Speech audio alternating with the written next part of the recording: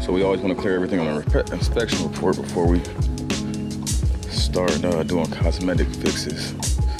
So the gate right here is gone. Looks good.